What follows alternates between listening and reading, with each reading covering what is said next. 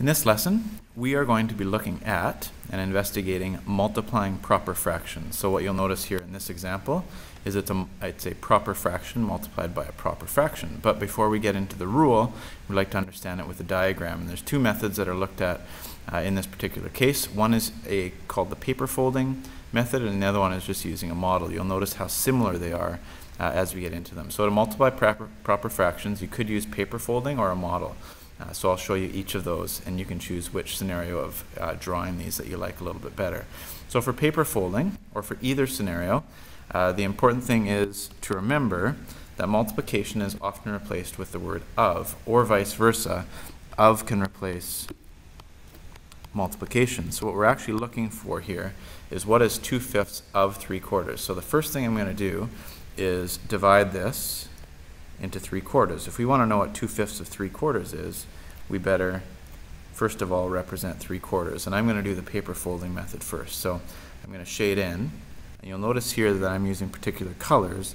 What you might want to do uh, in your notes if you don't have colors is just use some lines. Don't shade this in very darkly. Uh, you might want to just do diagonal lines because you'll notice that we're going to have some overlapping parts here shortly, and that's actually the important thing here. So here's three quarters. I think you'd agree this is three quarters, okay?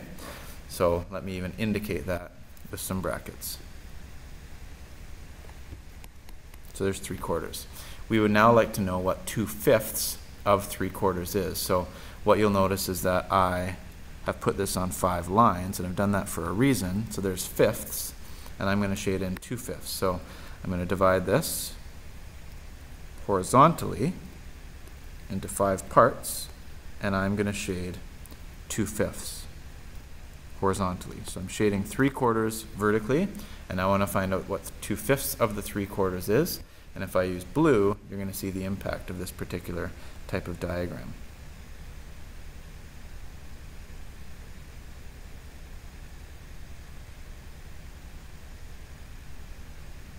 Okay, so I just shaded two out of five rows because that's two fifths of the entire fraction strip. So two fifths of three quarters, you might look here at the overlapping part. Two fifths of three quarters is just, again, the overlapping part. Uh, that's where the three quarters and the two fifths uh, are connecting with each other. So this section here is your answer. So that's six parts out of a total, and if you count all of the parts, you'll notice that there's 20 parts in total. So that's 6 twentieths, which is your answer. And you could reduce that by dividing by 2. You get an answer of 3 tenths. That's the answer to 2 fifths times 3 quarters using the paper folding method. Uh, the model's nearly identical, except it doesn't use colors and it doesn't use overlapping parts. Uh, but you'll notice that it looks almost identical. So 3 quarters would be 3 out of 4 columns except we don't shade it right away. And 2 fifths would be 2 out of 5 rows. So here's, I broke it into 5 rows, here's 2 out of 5, and these would overlap. The two rows and three columns would overlap in these six parts. So what you're noticing is with a model, you get the exact same answer. So there's six parts out of 20 shaded. And if you divide that by 2 to reduce it to lowest terms, you get an answer of 3 tenths. Okay? Uh, so that's the paper folding or model method. It doesn't matter which one you choose to use when you're describing how to multiply a proper fraction by a proper fraction.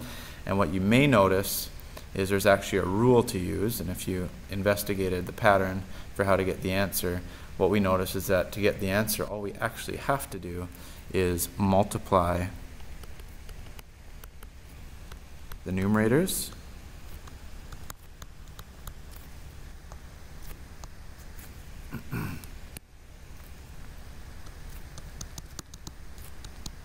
and multiply the denominators, which is a nice, this works for proper fractions times proper fractions.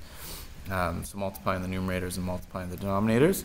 So the top times the top, and you'll notice that 2 times 3 is 6, and the bottom times the bottom, 5 times 4 is 20, and that's the exact same answer that we had up here once reduced. So 6 twentieths.